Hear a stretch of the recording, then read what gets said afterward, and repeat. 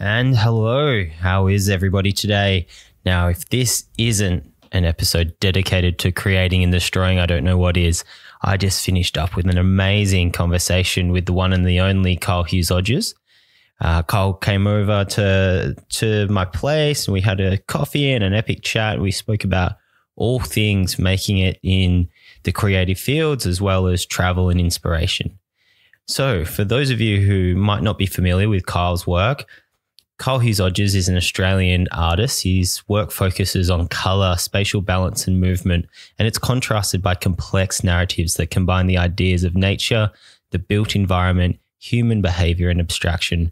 Kyle's been working full time as a self employed visual artist for the past 14 years, and he's exhibited in nearly every continent. He's had solo exhibitions in Perth, Melbourne, Berlin, Amsterdam, Madrid, LA, Vienna, and his work is is collected by both private and public collections worldwide. On top of his fine art career, he also has a whole bunch of large scale murals all over the place. And that's how Kyle and I first met, actually. He painted a mural on the darkroom concept that I first saw back in 2013 for the, the first ever rediscover. And so you can find Kyle's work from one story pieces, like when we met, all the way through to 12 story and above buildings. These murals are everywhere from New York City, Washington, D.C., LA, London, Sheffield, Singapore, Madrid, Berlin, Cambodia, Iceland, and heaps, too many to mention across Australia. Now, this conversation was super fun, super interesting. I actually learned a whole bunch more about Kyle that I never even knew. Um, and so it was just amazing. So without any more uh, going on, I think it's best to jump straight into the conversation with Kyle. Um, in the show notes, you'll find a whole bunch of links to Kyle's work and a whole uh, a lot of things that we spoke about actually throughout the conversation. You'll be able to find those in the notes. And as always, this podcast is brought to you by Rochambeau Studios. If you want to know more about what we do and what the heck the Rochambeau is, just head to rochambeau.co or reach out to me and more than happy to have a chat. So, as always, I'm Jordan Gian. This is Create and Destroy. Enjoy.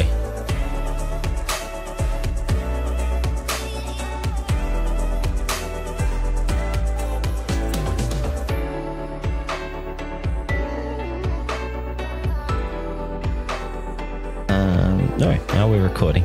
Cool. Sweet.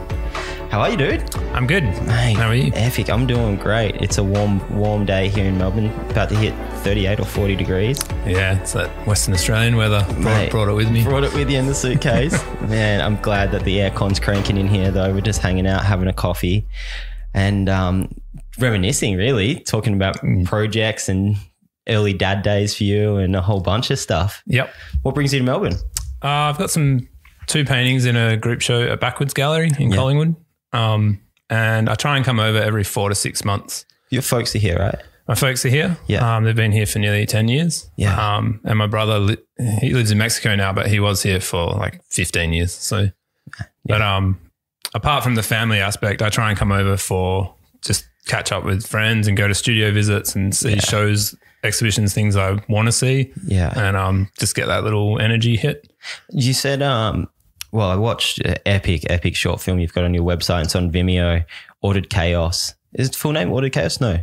Um, a quiet revolution, ordered chaos. Ordered Chaos. Yeah, And um, everyone should listen to that. I'll put it in the show notes. I'll put a link up for sure. I'm so glad I remembered what it was called. Cut. Fuck. Google it. um, but the, yeah, you've got this amazing, amazing short film, which is the past 15 years of traveling around and um, painting and exploring. How much? And I know that you touch it, touch on it in in the video, but how much energy do you get from the the studio visits and you know going to NGV and does that? Can you feel it impact your work when you go back? Um, sometimes uh, it's not always like a um, in the moment thing. Mm-hmm. Sometimes it's um, uh, I guess I don't try and directly um, be influenced stylistically by things I see or experience, but it's just because I'm curious. I want to Yeah. see more things and see new things. Mm. I want to catch up with artist friends and other creatives that aren't painting Yeah. to be inspired by their projects and just those conversations. It's just um, energizing to be around like-minded people, Yeah. um, and also people in different fields where you can kind of um, see into their wavelength. Yeah. You know, just having a coffee or going to their studio, or they might be working on projects that I would never work on, like lighting design or something. Yeah. Yeah. Not that I'd never work on, that I'm currently not working on.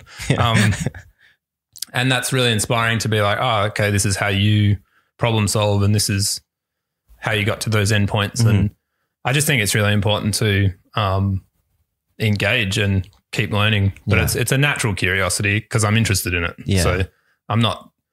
Uh, I am being deliberate about it, but it's because I want to. So it's Yeah. not like I'm forcing myself to be like, oh, I have to go Big- hang out with all these uh, people in Melbourne or Sydney or wherever. So Fucking have beers with their mates. This Yeah. sucks. Yeah. No, no. but um and it's not all painters like i i i am i do try and um see lots of different things so Totally, totally. Yeah. I um I don't know if it's the same with you, but I, I often feel if I'm it's not a, a lack of creativity, um, more so it's it might be a a um, reduction of inspiration. And so I'll find that if I'm I'm not exposing myself to to new things and new mediums or and it might be anything from fucking tech or going down to NGV or you know trying a new coffee shop even you know you you see something on broadsheet or you know any of those kind of trendy websites and you go fuck that that fit out's epic Hmm. I'm going to go grab my latte there and I'll walk in and and force myself to to enter a new environment which will then like refill my inspiration I guess like fuel take yeah and then yeah. it- when that gets depleted, sometimes I, I feel, I don't know if it's the same for you, but it's when it's depleted, I then go, huh, hang on. I haven't actually had a good conversation with someone in so long, apart from the small talk or about a project. It's, it's often those conversations and connecting with people and talking deep rather than shallow. And Yeah, that's the inspiration refill, yeah if you will. and maybe it's a combination as well like it's there's a lot of that's what i meant by the longer vision of it like Mm. there's things that you might take in or uh, small photographs you might take of textures or Yeah. some flyer or something that you pick up Yeah. and it doesn't really resonate immediately, but maybe something you're working on in two years, or you're starting to think about some colorway or something, and then you just have this like, oh, I remember going down this laneway, and even if that thing, like going into this really nice new fit out, your memory of that fit out might be wrong, Yeah. but it's sparking this thread. Totally. Um, And often, and I think there's a lot of studies about the brain that um, my colleagues would be able to quote better than me, but often your memories are incorrect. yeah, Like, it's, yeah. I, I remember hearing something about um, like if like someone robs a 7-Eleven or whatever, yeah, and uh, everyone's description of the robber is like always wrong. Yeah. because you, yeah, well, they, Well, not they- always, but yeah. yeah, most of the time, yeah, it's something about your your brain. Every time you relive a memory, it actually manufactures new facts in it, and to a point where you start believing that. And so sometimes when we remember, oh, I remember that time we caught up and it was that was that amazing. Yeah. often it, it wasn't. It was just because you relived it in your brain so many times that you made it better and better and better because you really want it to be better. yeah, that's a good pub story, is right? epic. Yeah, yeah. Don't let the truth get in the in the way, right? So I, I just maybe want to bring it back because a lot of the the listeners to to this podcast, especially, it's really funny when I kind of see messages of people coming in. It's very very broad from you know mutual friends of ours that are definitely in the creative field. But there's also up and coming young entrepreneurs, and as well as you know executives in big companies that are often not exposed to creatives or the process Mhm. maybe if we re- rewind a little bit, you've been a visual artist for 15 years? For, Yeah. like, um, as a, I've been working for 15 years, but Yeah. um, working on my personal artwork Yeah. for the last, uh, what year is it? Oh, for the last 12 years. Yeah. But the first three, I was doing street, um, street work, but I was also working for commercial design studios. So well, so I'm- must, um, this is kind of going down, you know, memory lane for me as well. So maybe it's incorrect. But I remember when I, I moved to Perth, this was 2008, I want to say. Yep. I might be wrong, but around that time, I remember cruising. I lived in Mount Lawley, just up there near uh, ECU, Mount Lawley. Yep. And I remember seeing creepy kind of everywhere. yeah, and then it was a long time around where I never I never knew you at that point, and we met and we actually just looked at a photo that I had a photo of you painting a mural on the very first shop of mine, Darkroom, back in I think it was 2013 at the first Rediscover. Yeah. But I knew you as Kyle Hughes Odgers then, not Yeah. as creepy. Yeah. When did that inflection happen? Um, like And when was did it I, natural? Did you go, okay? when did I switch out? yeah. Um, yeah. it wasn't, uh, it was natural, Yeah. but it was just so funny to me because at the, when I first started putting stuff out on the street, uh, it was kind of like early 2000s Yeah.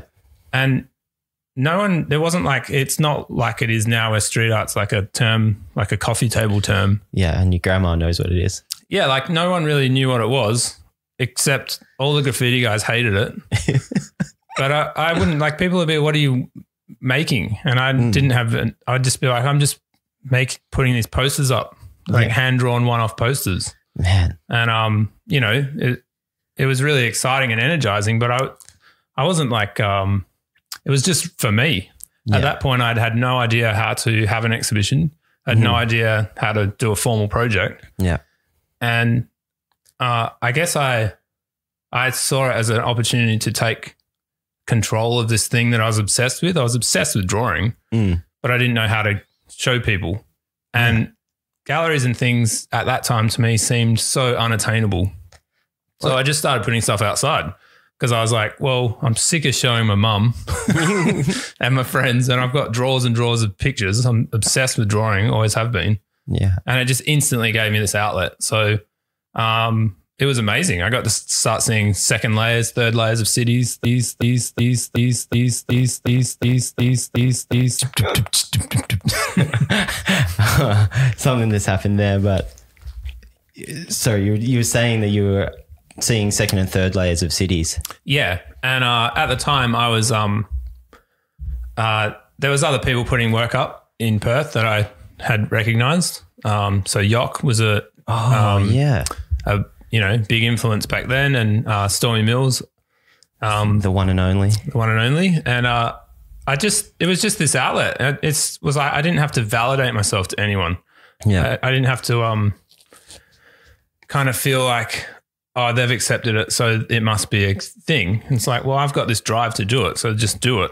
Um, and that drive then, obviously before, you know, double taps and likes and and all the things that kind of drive a lot of the street, well, a lot of the art culture really these days. Yep. That recognition back then, there wasn't recognition from, oh Uh, my God, here's a photo and let's chuck it up and hope people like it. Was the driver, to me, it sounds like it was purely personal. It was very personal and it was just exciting because I would see other work, like I'd come to Melbourne or Sydney and see other people Mm, doing these strange things with um aliases, like very hard to contact these people. yeah. I was actually um, talking to uh, David Booth, uh, Yeah, Ghost Patrol, Ghost before, Patrol. and it's, it's like before um, any social media. So I, I would fly around the world um, when I could and put up these posters, and then I'd come back and put them on my website. These tiny little images that you couldn't enlarge, Yeah. and I had no analytics. I, had, I was like, I guess someone will look at it. Yeah. Um, So No. how, how would you say you you were you meeting up with crew like you mentioned Yok and Stormie and, and Ghost Patrol? Were you meeting up with them then and just connecting? How, how would you connect then? uh, in old school meet people in real life IRL. I think there was like forums were a bit Ah, okay. I don't know if forums are still big, but um, I was a bit more active in in those kind of things. Yeah.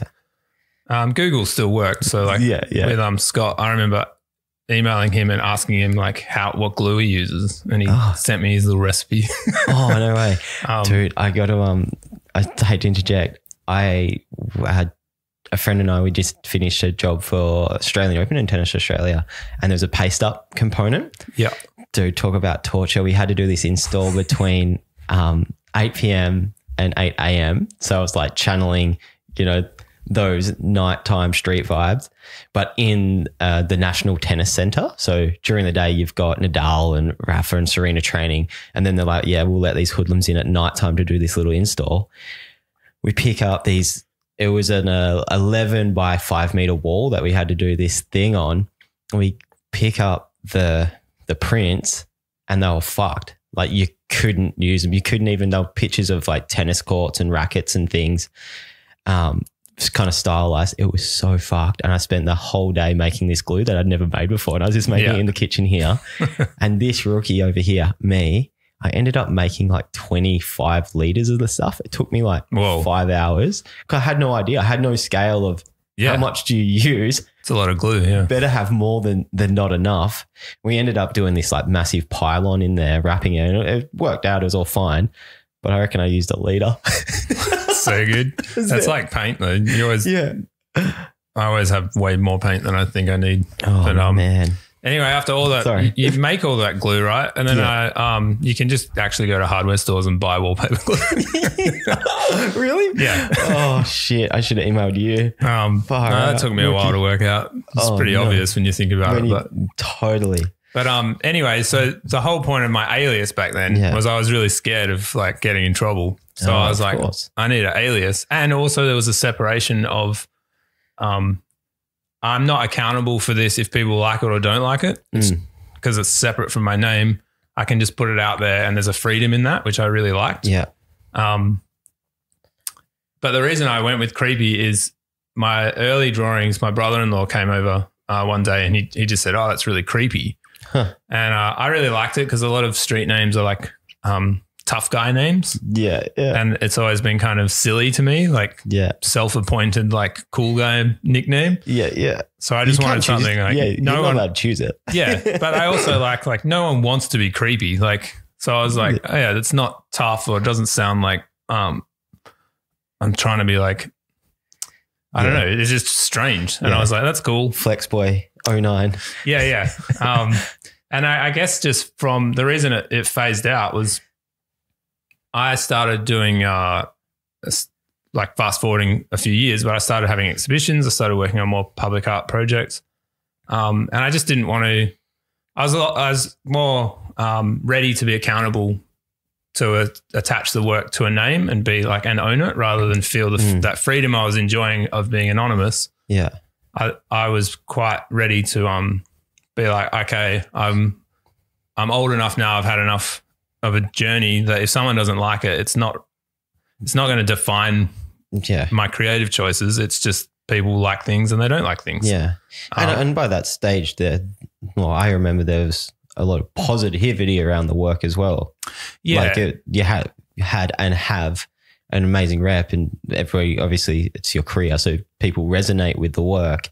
And so was was a part of, uh, you know, getting that thick skin of you know maybe people going over your work, ripping it down.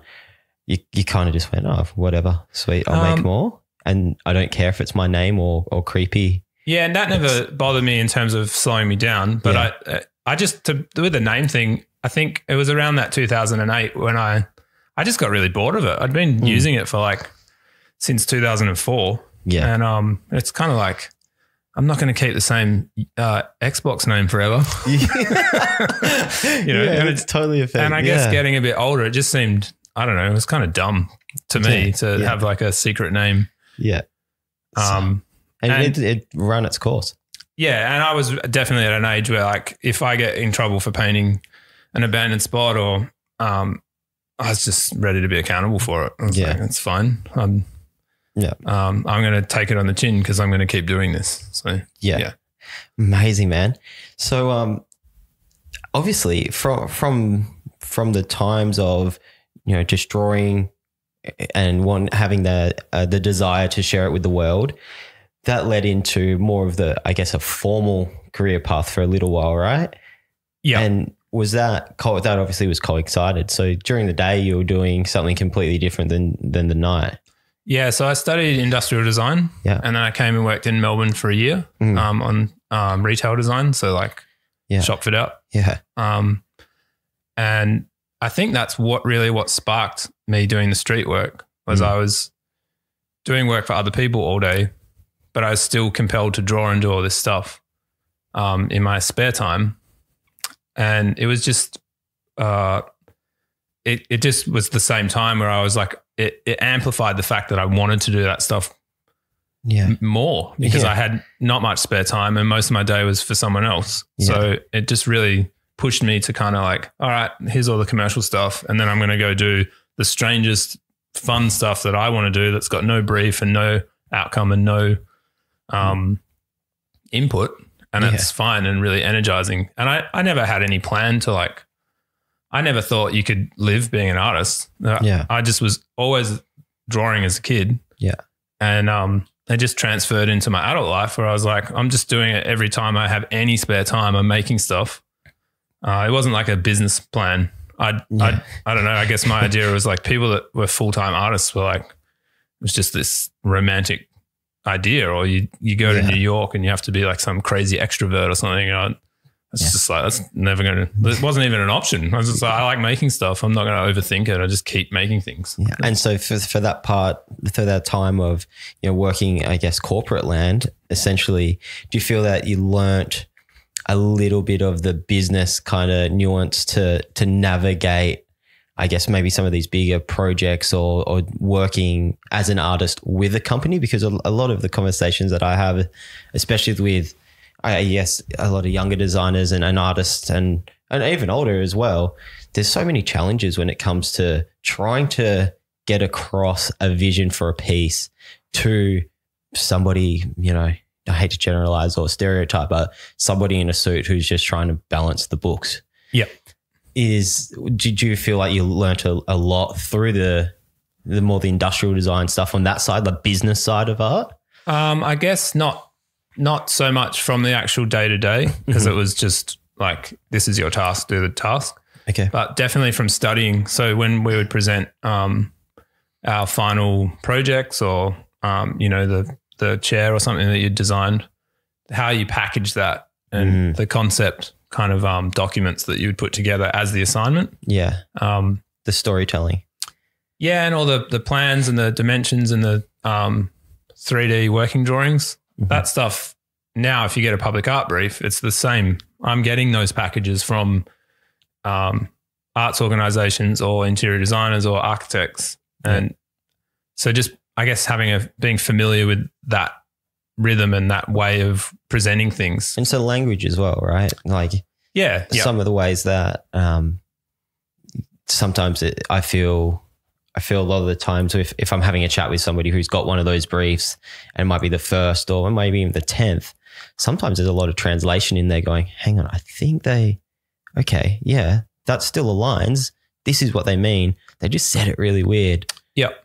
or, or I think what it also taught me was I, um, I understood you can have a great idea, but the idea you need to be able to, um, you need to be able to translate that in a very digestible way where people understand the scale, they understand the textures, they understand Hmm. the context of that final thing. Yeah. Uh, anyone can send in a drawing or a painting on A4 paper, but if there's no context to how it sits within the broader vision of that specific project or the building or the wall, or it's very hard for the someone that's not in your brain to understand that Yeah. information. They're like, oh, it's a great picture, but Yeah. um, so from doing that course, it that's how we had to present everything. It was like how Yeah. visualize it, but you don't let people visualize it. You just show it in place. Um, you show exactly how you want it to look, the colors, the light. Yeah, you give it context Yeah. You and don't scale. you don't presume anything. Don't you- presume you- anything, and- Yeah. but also in a very digestible, not overly complicated way. Yeah. There's a lot of, especially with painting, there's a lot of art speak Yeah. that's important. And um, I, I believe that artwork can only get to a certain point if it's completely meaningless. you, I personally need to have things grounded on some concepts. Mm. But for public art, for me, it's about getting those ideas across. But imagining someone's on your website for one minute, which is pretty common on analytics. yeah. Totally. Do you understand it in one minute? Yeah. Okay. Well, let's talk about it for 10 minutes. Let's talk about it for an hour. If I can get you to grasp it in one minute, then we can talk about it more. If you Ah. don't understand it in one minute, then you're not going to understand it in an hour. Yeah. So, Well, it's the same. Um, well, you might, but you know what I mean. yeah, totally, totally. It's the same with businesses, right? When somebody tries to explain what they do, and it takes them ten minutes to explain. To me, it's a massive an alarm bell to go. Maybe, maybe you actually don't know really what you're doing because the hardest thing is to explain something simply Yeah. and, and clearly and concisely and say, hey, this is what I do. We do. You know how, you know, there's a problem. This is what we do. It's the solution. Exactly. And especially if you're talking about um, visual language. Yeah. Um, and again, I most of those projects I'll have a one or two page, I guess it's an essay about the background of that work. Mhm. But I I think work needs to be engaging on multiple la- layers, and if you can grasp it at least on one layer where you go, oh, I can see how big that that idea is in this space. I can see what materials you're thinking of using. Hmm. Um, then we can then talk about the deeper layers of the onion. You know, Yeah. Is there a certain level as well? And I think, you know, as a, you know, I obviously work in the creative field, as do you, and and are exposed to a whole bunch of different things. But I must admit, I'm a pretty fucking shallow viewer of art. I kind of look at things to be completely fair. Like if you go to NGV with me, it's a walkthrough. Like I very rarely Yeah. stop. I'm like, yeah, I get it. That's awesome. That's so great. I don't need to stand there and look at it forever because I, I get it. That's sick. You know, I'm not, you know, I might be um, extending the truth a little bit here, but just to paint the picture, great, Yeah. great pun. Um, I like to just look at something and go, oh, that's awesome. That's so great. And that, you know, inspired me or made me happy in a tiny little way. And that's great. And let me continue with my day, essentially. Yeah. And then there's, so that might be the, the surface level of the onion because if you're putting a proposal in front of somebody, well, gee, it's got to look good. Yeah, and You know? most most point like most in most cases they've sent you the brief, so they understand the core concepts of what they're wanting this thing to be based on. Yeah. So it's not it's about for me getting that aesthetic and that initial reaction. People like pictures, and Yeah. that's why I'm paint or draw because I'm not as strong with words. But so if I can get that, um, if it's visually engaging straight away, Yeah. cool. Let's talk deeper. And Mm. uh, I mean that sincerely because I don't think you can. I I couldn't do that if the picture was completely meaningless and only aesthetically based. Yeah. I couldn't do that long term. I would. Um, there wouldn't be enough for me to work from or to to base concepts from. Yeah. So I I need that background that I've thought about and considered to get to that aesthetic. Yeah. But I I definitely agree with you. I've always struggled with the fact that um why can't something have meaning but also be aesthetically Pleasing. Yeah. pleasing? And there's a there's a lot of fine art that I'm you know I'll walk around a gallery. I actually quite enjoy being obnoxious in giant museums and being like, oh yeah, that one's pretty good. well, uh, Yeah. yeah. I'd look at that. Um, but that's you know I don't think there's anything wrong with that. But then No. the things that I am emotionally connected to, yeah, I'll go buy the book and read totally. the the all the documents based on this thing. And even Mm. then, I don't know if I 100% agree with the text is why I'm engaged in that image anyway. But yeah. I so there's something in that. There's a fine line there where I think artwork works for me if the viewer can e- engage in it emotionally or aesthetically with their own experiences. So at, at multiple levels. yeah. So if you're Yeah. seeing something in it that I'm wasn't my intention, but it's interesting to you, Mm. I don't see that as a problem. I actually think that's when it's strong. Whereas if you instantly look at it and go, "Oh, it's a painting of the beach," um, that's not engaging. Like there's not. You need to Mm. have some level where it's personal to that person. Yeah.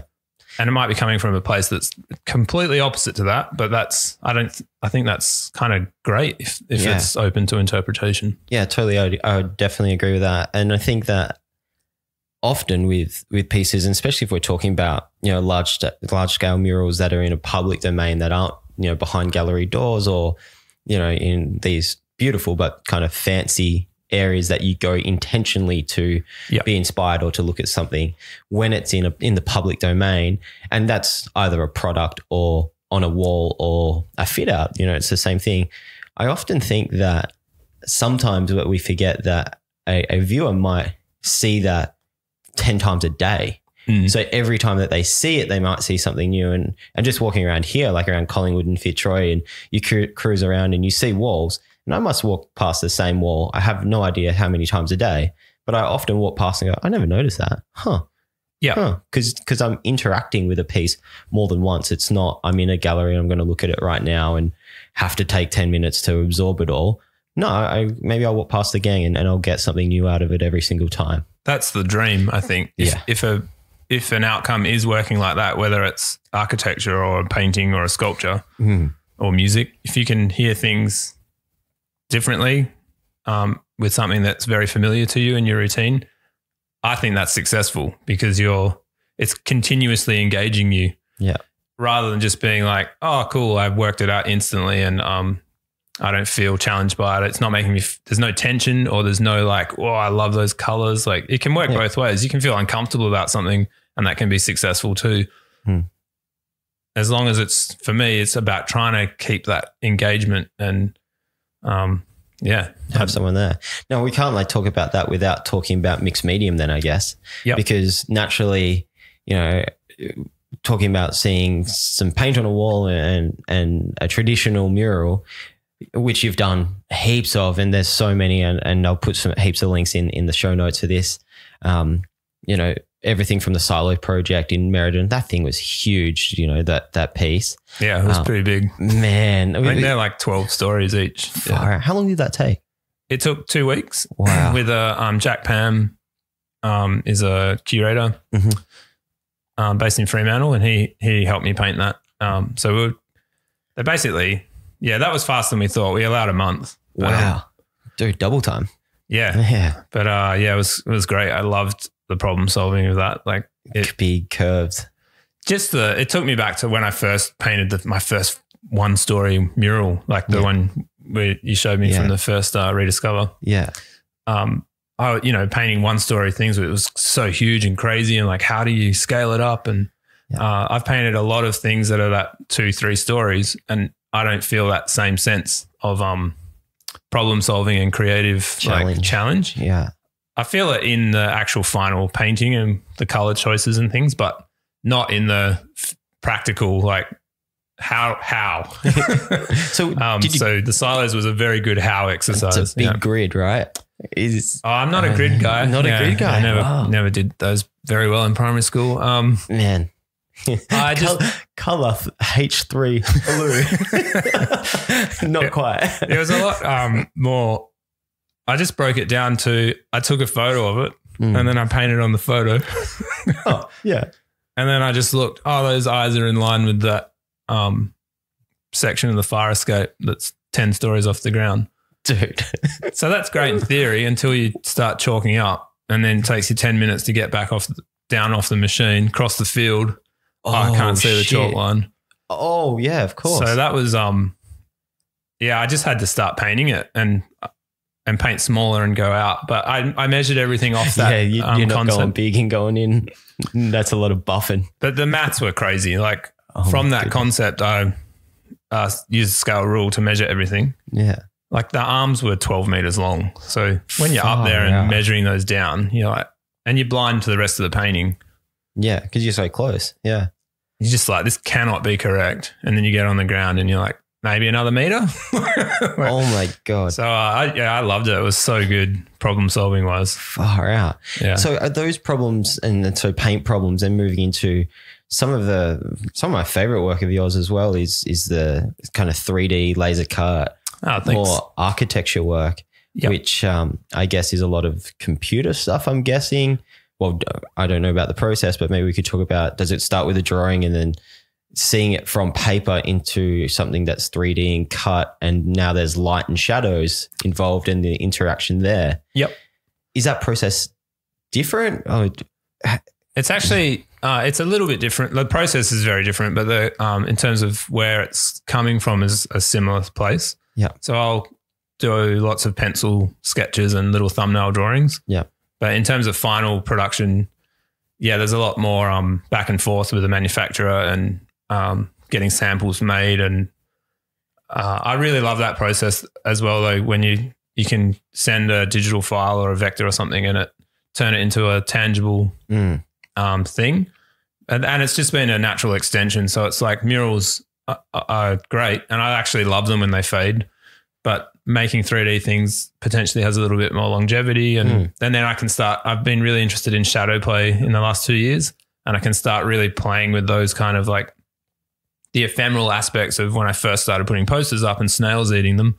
I get that with shadows changing and that that that work will only look that way at two o'clock in the afternoon, and then at nine a.m. it'll look different because the shadows are all shifting and changing, and that's that thing. Hopefully, if you live in that place where the public art is, that person that walks past at different times of the day gets a different engagement with that same work. Um, and then there would be two two um, different, I guess, stories going on. Is is the by bystander or the you know the pedestrian who's cruising past? They will see a different different show at a different time of the day, essentially.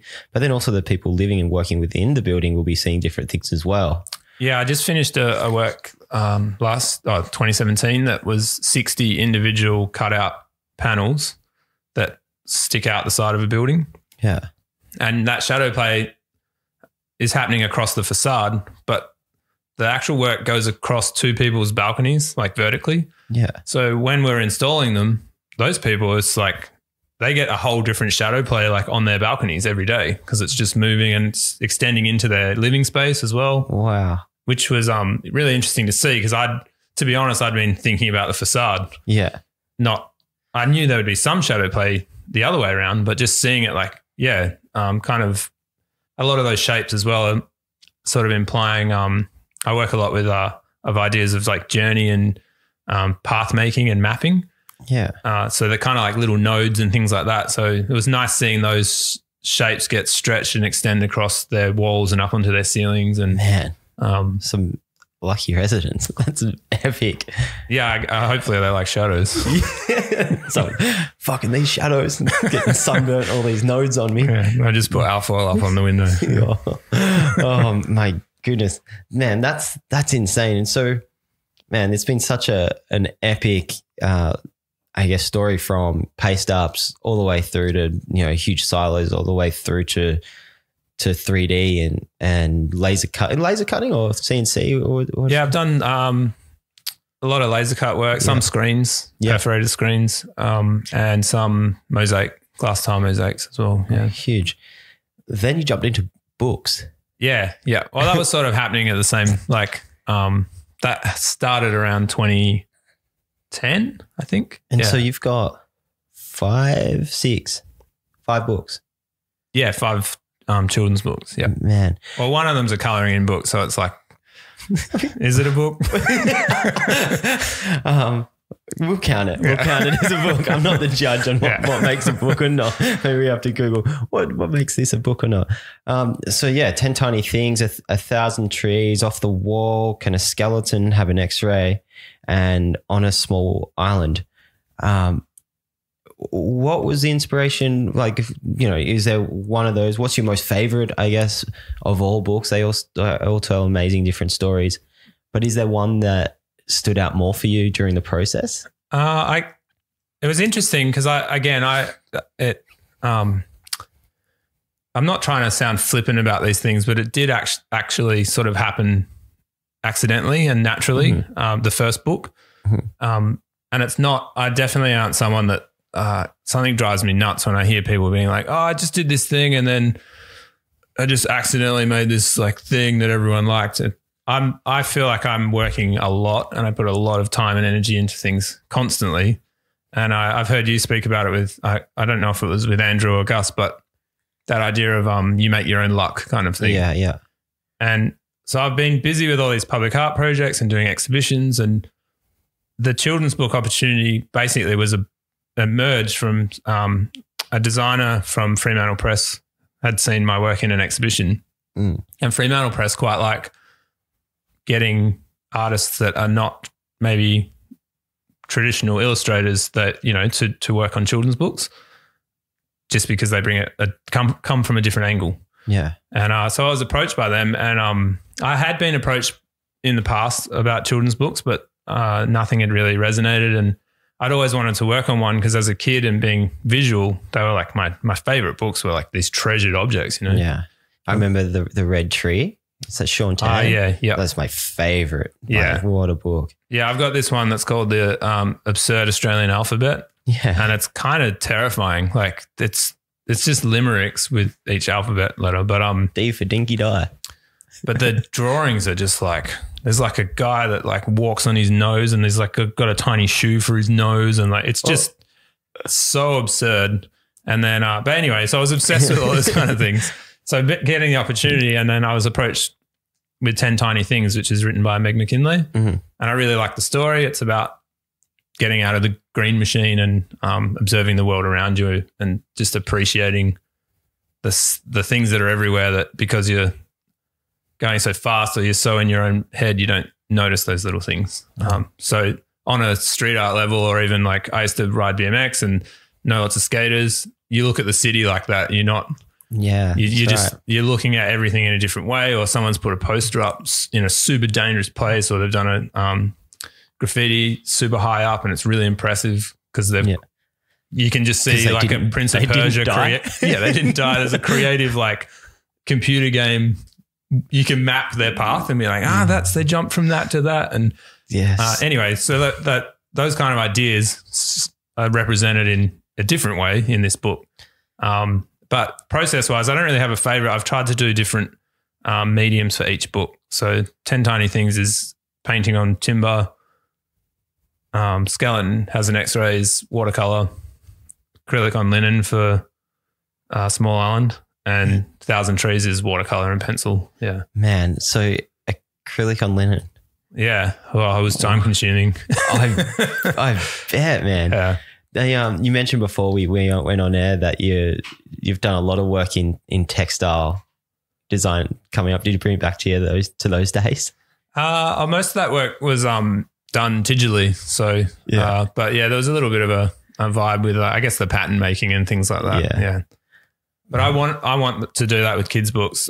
I deliberately made everything non-digital, Mhm. so that when it gets photographed, those little lumps of paint or bleed out, uh, there something happens in that process where it gets flattened back into a book and it's just looks really human. Yeah.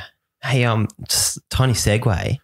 You know Ellen DeGeneres, like Ellen, Ellen. Like Ellen on TV, that's Yeah. really famous. Yeah, that one. I've heard of And- it. yeah, and um, Portia de Rossi. Have you seen Portia's business? No. She's got a business, and I hope I think this is right. I think it's called Public Artwork. I think it's called, but she 3D scans original art, so all the lumps and bumps that they've mentioned, and then 3D prints them. So Ah. you can buy essentially it's a uh, the step between an original piece of art and a print, but you're getting like a 3D print, so you get the the paint, the brush strokes, the drips, the drabs, all the little lumps Ah, and crazy. bumps. It's insane. I think they do like a lower edition, um, and obviously a lot more than a than a print. The, cost. So it's like in between an original and an Officeworks print on canvas. Ex- exactly, exactly. And I think the price is is in between too. Yeah. um, so Yeah, it just wow. reminded me, but how amazing that the, the influence of of tech and, and traditionally tech and 3D printing, it's you know, a lot of it gets caught up in in the negative of, you know, 3D printed guns and you know, all these other things and you Yeah. know, the influence on manufacturing industry and deindustrialization, I guess, of the world. Um, but I just just wanted to Yeah, share that's that cool. because it's insane I- that it's 3D printing is such an amazing concept to me. Like, um, but to be honest, I'm still pumped about like PayPass and yeah, yeah, so yeah, anything yeah. like Wi-Fi is still pretty cool to me. it is. It's it is definitely. Um, yeah, it blows my mind every day that you know when we upload a podcast and somebody will go, "Oh my god, man, that was so sick! I've been following you know so and so's work for a long time. I've never heard their voice." Um, but yeah, three D printed art. Keep keep an eye out for that. Might be the next thing, man. So what's what's on the agenda? What's next? Um, I, I think it's important to add that. Um, yeah, you got a little boy Ari. Yeah. How, how old's he now? Uh, he is nearly 21 months. Yeah. All right. So I'm in the dad zone. Yeah. Dad zone, dad zone. Has that changed the way that you work? Apart Um, from the obvious like sleep and stuff like that, like is is has that impacted your work in ways that were unexpected potentially? What's interesting about it is that uh, I'm psychologically in, in a better place. Like I feel like if I had a kid younger, I was wouldn't have been um, as comfortable Mhm. with the general concept of um, uh, a new consciousness. yeah, yeah. it's pretty heavy. Trying not to think about it too much. Um, But I I work uh, quite a lot. Uh, I always say I work for myself, obviously, and have been for the last since 2008 um, full time, and I feel like I work much harder and much more intensely than whenever I worked in another design studio. So having Ari has actually made me. Um, I feel like I'm productive and efficient, but it's just made me like super efficient. So Mm-hmm. maybe in emails where it's a new contact or something and I have a little bit more small talk about like the long weekend or something, I just, that's gone. I'm just like, hey, here's the dot points I need to know. What do you need to know? Yeah, let's get down to Let's, business. let's do it. And if Yeah. we, it's more complicated than that, then it's just call because it's way faster. Yep. And we can make notes and go from there. So that side of it's been really good because I'm, my time is, uh, different with him.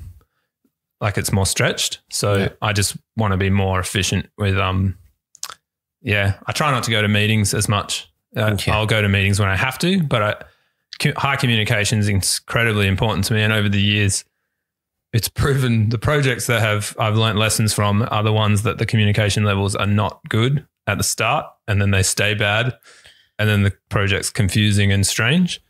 High communication, even if it's email and phone calls at the beginning, is it, you can still get the same thing, and then you get to like step four, and you're like, okay, now it's time to meet. Let's go. Yeah. So, and I'm not. It's important to meet people hundred percent because it, it there is a different dynamic that happens, and it you obviously can be introduced to other people that you might end up working with or have a tangent, or you could provide a contact to them in Yeah, two years' time or something. Yeah. That stuff's very important, but just yeah, being time poor because I want to hang out with my kid, Mm. And painting is very time consuming. I'm just yeah, just bullet point. Totally. Well, I think I found I found similar like if on projects if if the communications kind of shit from the start, it's um and even sometimes if it's really good and the as if you you you meet with a client, everything seems sweet. You're like, yeah, they totally get it. They just said, yeah, go do nuts, do, you know, go nuts, do whatever you want. Yeah.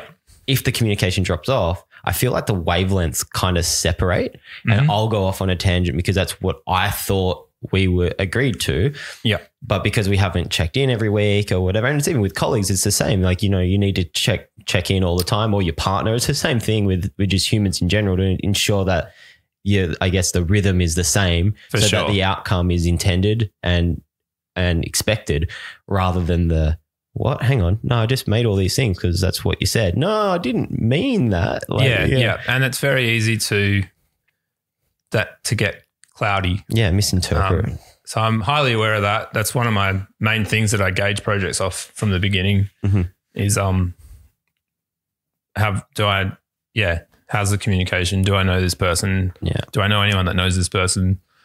Can I look at their past projects? yeah. Um, What, and what's happened here? and usually, if someone's a little bit vague and elusive, guess what? the project's vague and elusive. yeah, exactly, exactly. Uh, I think in- in this kind of overly connected world as well, I think it's been heightened because you can connect with anybody at any time. Like, you know, we chat on Instagram more than anything else because it's quick, effective, and it's like to the point, and that's on, I guess, a different level. But I think working in, in the corporate space and, and getting caught up in that bureaucracy, I'm always whinging about these, you know, emails about emails and meetings about meetings. It's like, guys, I'm pretty sure we can cut this crap out and like just send one concise message and it will be done. And let's have one meeting instead of four. Yep. Because there's nothing more frustrating, especially on the creative side, when creating does take time. Like all designers, artists, um, you know, uh, anyone in the creative creative field, um, I think can can all agree that the number one thing that pisses you off with a client is when they say, "Yeah, no stress. Um, you know, that'll just it'll only be like an hour's work," and you're like, "Man, it's, nothing is an hour's work. It's an Yep. hour's work plus twenty years of experience plus." Yeah, You know, hundred percent. waking up at two o'clock and, and going, oh shit, what if it was like this? And, and nothing's an hour. So that hour that you just stole for that meeting or those 20 emails, I could have put into the into the work and the work would be better. So let's figure this process out first. So the outcome is is heightened. Yeah, and I think uh, hundred percent agree with that. I also think the projects and people I've worked with that understand that you get the strongest outcomes because Mm. they're they're um respecting that time heavy thing. Even if the final outcome's like quite a simple, uh, just say it was a logo and it's very Mm. simple. Yeah. Maybe you got that on your third sketch, but you Yeah. still had to go on this giant journey to get back to that third sketch. Yeah. And if you did get that on your third sketch, then man, it's kind of really impressive. Yeah, yeah, it's not, totally. It's not a negative. It's No. like good for you. Yeah. But uh, yeah, I think the people that any of the projects I've been really proud to work with those people and proud of the final outcome. There is this trust there where it's like, okay, we understand Mm. um, that process. And not to disrespect anyone, I feel like when I was working for studios, I might finish all my tasks for the day by three o'clock, but I just have to sit there till five.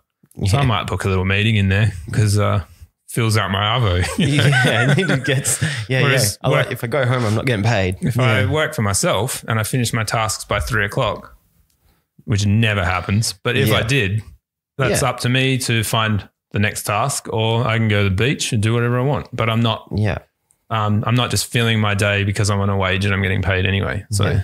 I think there's a um, the future of work is always hot topic around the coffee table with with the with the Rochambeau crew, and I guess we're lucky enough that we we always say that we're from the future, and basically it's I think you guys are from the future. but I think everybody who freelances and works for themselves is from the future. And the tricky part is, is when you're from the future and you're working with people that are in, stuck in the past and they need to fill in those few hours. And I mean, for us, there's days where we'll, we'll wake up, we'll touch base with each other. Hey, what's going on? What are you, what are you working on? Yeah, I just got to get this done by Friday. Sweet. And this might be Wednesday. And there's been so many times where I'll pick up the pen or I'll start trying to, you know, smash something out and it's just not working. And so for me in the process, I don't I don't force it. I put it down and I'll go to the beach or I'll go catch up with somebody because creativity is not something that you can just turn on and go be creative now. Like Yeah. it's it's a constant grind to get in the zone and make sure that that product's right. And that doesn't fit into the nine to five life. Like rock up, have a coffee, talk some shit by the water cooler, now create. Yeah, I. I actually don't. I, I I completely agree with you because you might go and do that other thing, but then you'll be back at it when the spark comes, and you might work till two a.m. So Mm. yeah, yeah. you're doing the same process, but I, I don't really. I'm also quite naive to the nine to five as well. I'm, I'm sure Mm. there's um, models out there where there is much more flexibility I'm with sure. um, that kind of thinking. But I definitely agree with you. I think that's the way forward for um, work life Mm. is as long as people are um, getting to the outcome within the required constraints. Yeah. Yeah, if you want to go and get a clear head and then that sparks the thing and you work till 2 a.m., you might not want to do that because you've got a newborn Yeah. or that's when it happens. You're still getting there. It's Totally. just a different way. I think it's um I think it's almost a spectrum where on one side of the spectrum it is nine to five, it has to be done at this time and nothing is expected to be done outside of those times, which is which doesn't really happen because we're too connected now and our phones are going off at nine o'clock at night. And, if- and this doesn't matter if you're yeah. in admin or you're in, you know, creatives or what it doesn't really matter. Work's not going to fit into nine to five for majority of the workforce. If that's one side of the spectrum, and the other side is completely, completely, um, I guess, spread out globally, and you've got people working wherever they need to work on a project. Everybody needs knows the the due dates, and there's so many programs. You we, we use Dropbox pretty much for everything in Dropbox paper Mhm. to manage a process within our own teams and then communicate with a client. I think that's on a, another side of the fence, and it doesn't matter if somebody's on a plane or you know at their house or together in a studio. Yeah. It works that way, and I think there's you're right. There's a spectrum of it where people there's there are organizations in the middle which have a f- one foot in in the traditional sense because their clients live in in the traditional land of nine to five, so they have to be as well because They they have have- to be access- accessible. Yeah. How's that for a stumble?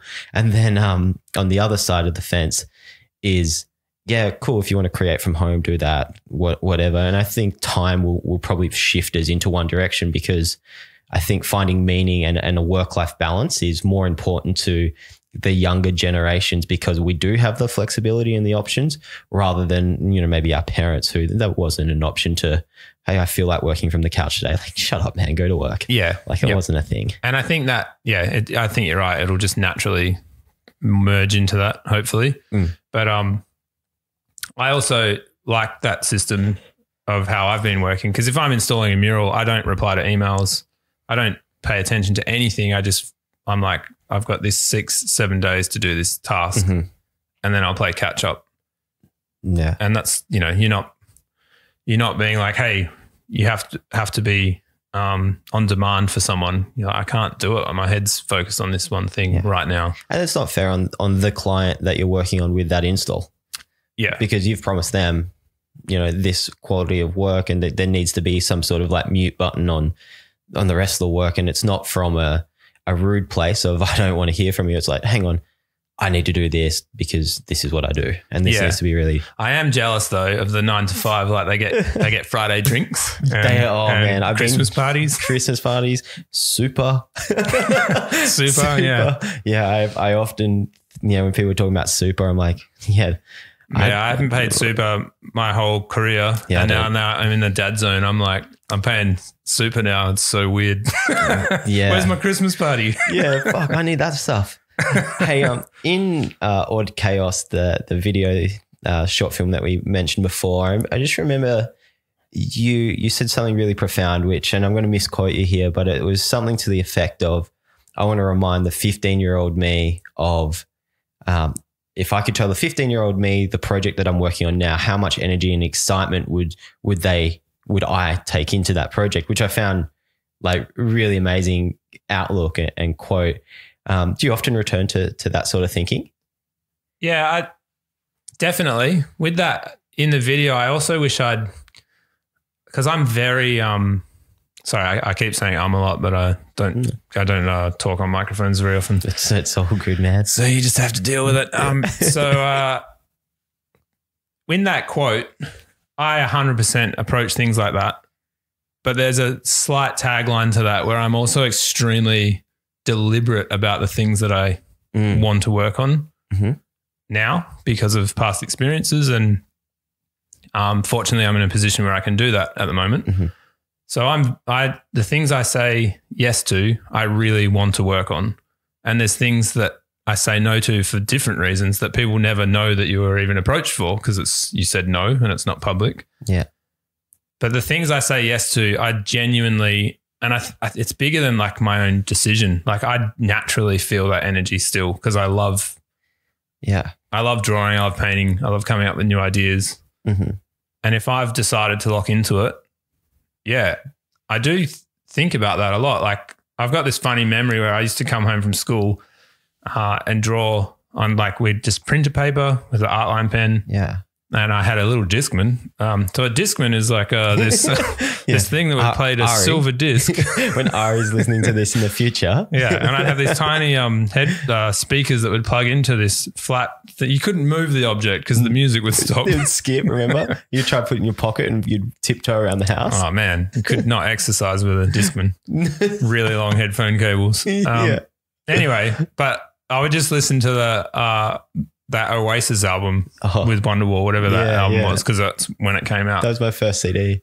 yeah, oh, that's cool. Yeah. Uh, and I would just vibe on that and just be like, get into that weird meditative state where you're kind of like, it's kind of like I, I imagine with running. Mm. Once you stop thinking about the physical, you're just in this um, zone. Yeah.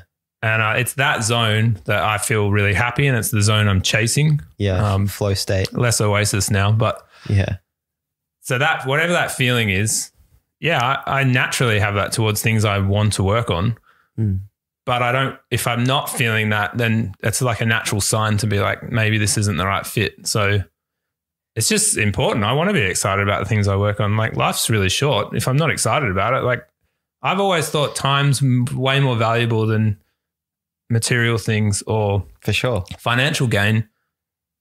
If you can balance that, then that's great hmm but I would much rather just be engaged with the thing I'm working on 100%, even if it's, um, yeah, just for that that feeling of like, uh, it, it might be naive and a bit pure thinking, but that's just how I see it. I just want to be sure. excited about what I'm working on. Man, so, I fully, I fully agree with you there.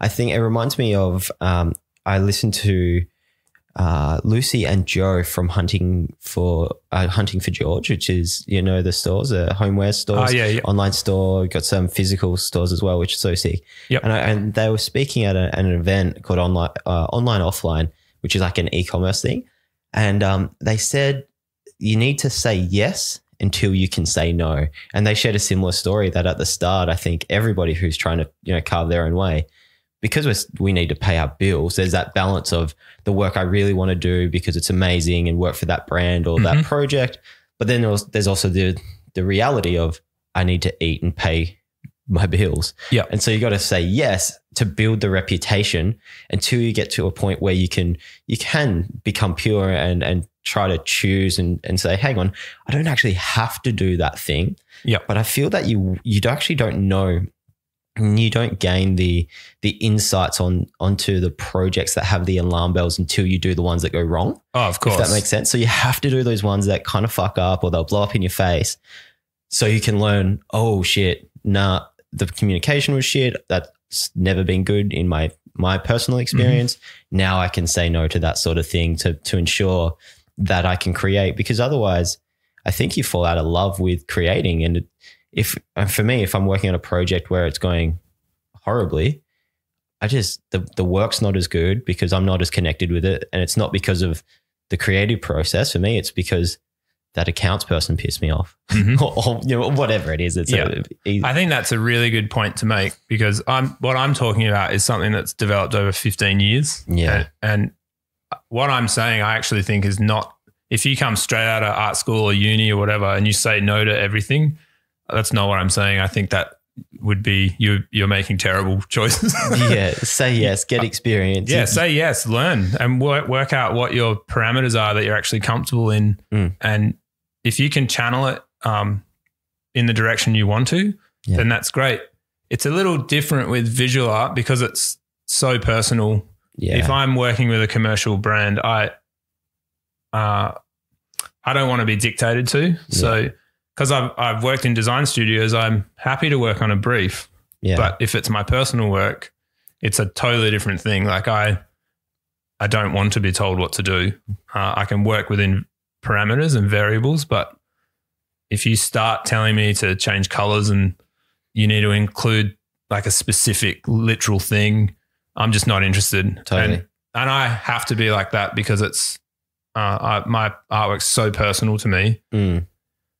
And I don't. It's, I'm going to do it whether I'm getting paid for it or not. So getting paid for it's a great byproduct, yeah. but I'm very staunch on that. I do don't want.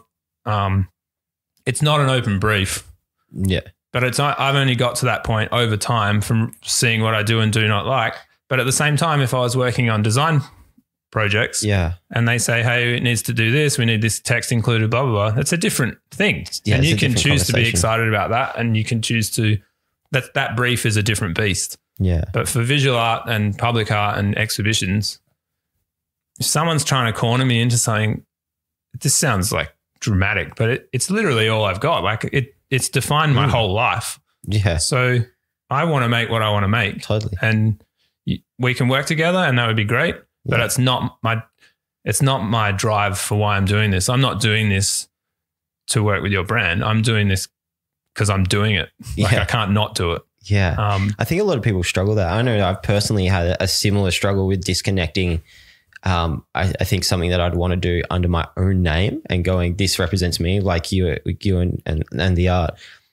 And then trying to merge that with a design brief, put this, you know, it has to have the weight on the front or the, you know, if you're, I'm doing, you know, I've done like beer cans and that sort of stuff. yeah, it's cool. Yeah. But I, I've had to mentally disconnect and go, hang on, hang on, hang on. This isn't a Jordan thing. It's just This a is- gig. Yeah. This is just a gig. and it's a cool gig, but it's a gig. and Yeah. I need to do that to enable me to do this other thing. And this other thing's going to take a long time to then transfer into that's all I do.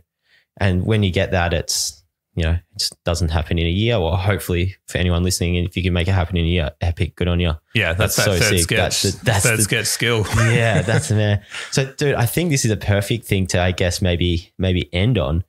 If you were to talk to maybe, I, I don't know, yourself at 15 years old, or probably more people listening that might be just leaving uni or art school, that sort of thing, looking at at yourself, going, "Fuck, that's what I want to aim for." Is there any piece of advice that you would? You, I know it's really hard to narrow it down to a single thing, but would there be something that you wish somebody told you when you were starting out? I think uh, Well, I had really my parents are super supportive, and um, they've always been like instilled really strong in work ethic, and I I feel like they kind of did tell me that stuff when I was starting out, which I feel lucky for. Mhm. But their attitude was, you just don't expect anything from the world. Doesn't know you shit, hey? Doesn't owe you anything. Yeah. Uh, work really hard and just be nice. Like don't not don't get stu- stepped on by people. Yeah. That's a different thing. Yeah. But just be polite. Show up when you say you're going to be there. Work really hard. Be accountable. They're pretty basic principles. Yeah. Just don't be lazy and super self obsessed. the world doesn't owe you anything. oh man, that I think that is the best advice uh, you could possibly get. I hundred percent agree dad, with that. dad advice. Dad right? advice coming down strong. man, I love it. Dude, thanks so much for rolling in. That's been, yeah, it's been so sick catching up. Yeah, thanks Um, for having me. For people listening, you've mentioned you got some things coming up. Um, when where can people find you? Uh, you can go to my Instagram, which Yeah. is uh, if you have all the letters of the alphabet on your keyboard. my name's Kyle Hughes-Odgers. I'll, I'll chuck a link up. Uh, yeah, and I've got um, a show coming up in Perth in July at Turner Galleries, I see. and then I'm over going over to Iceland for residency for a couple months. Wow. So that'll be nice. Man, Paint some giant buildings and huge. um, yeah, jump on, give a follow, go to the show. Um, if you got kids or if you don't have kids, find buy the books. Where can we buy the books? If you go, the best place is if you go online. Yep. Uh, if you just Google, if I don't know if you can put those links up, but if Yeah, you yeah. Google um, my name or go to my website, it's on all the like normal online store things. So, Yeah, yeah. where all good books are. Yeah, yeah.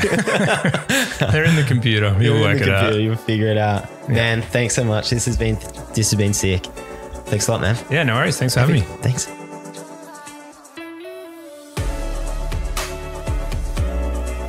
What a rad episode that was. If you enjoyed that and you want to hear more from Create and Destroy, help us out. Go to iTunes, give it a five star, subscribe to it, or tell your friends even better.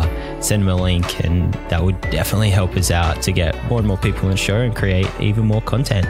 Hope you're having a rad day. Thanks.